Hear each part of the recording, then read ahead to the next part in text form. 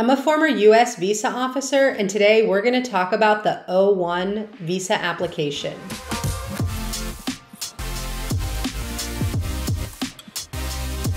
Now, if you're thinking about the O1 visa application, it probably means that you have an O1 petition approved by USCIS. The first thing I want to say is congratulations. Getting the O1 visa petition approved by US, USCIS is a big deal. You've probably been dealing with a lot of paperwork. You've had to submit a sophisticated legal argument about why you qualify.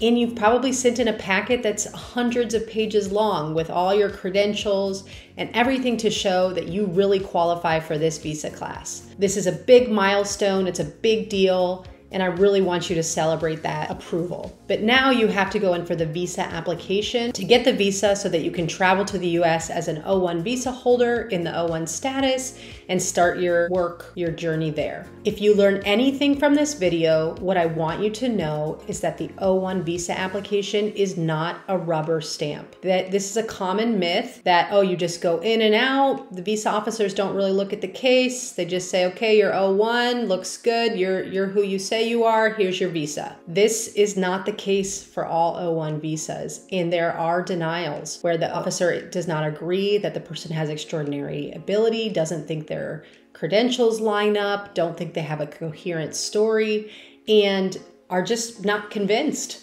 that this is a good application.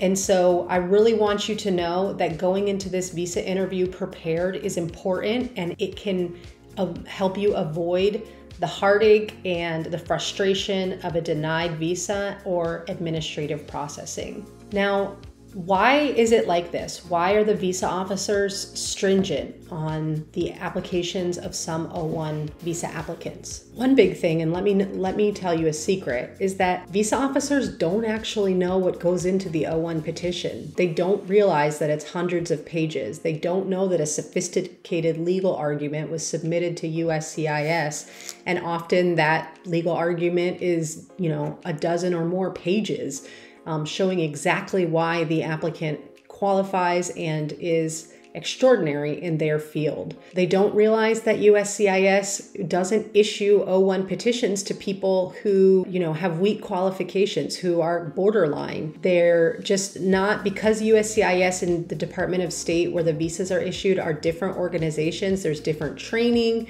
and they just have a different understanding of the application process. They don't understand, visa officers do not understand how difficult it is to get an O1 petition approved. So when you go into your visa interview, what you want to do, your strategy has to be really showing the visa officer why you qualify, what your credentials are, and what you're going to be doing in the United States that is going to make an impact.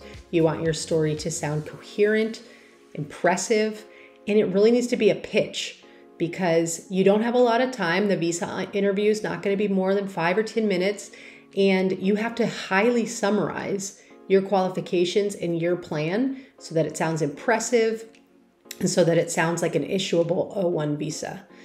If you are from a country that has high 214B refusal for B1, B2 visas, this is especially important. It's because in those countries, visa officers are just more stringent on visa applications and they're going to be looking at the O1 visa more closely. Um, and you want to be really prepared to show them that you are qualified for this visa class.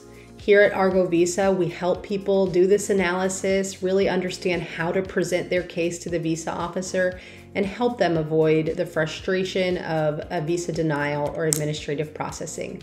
We look forward to working with you.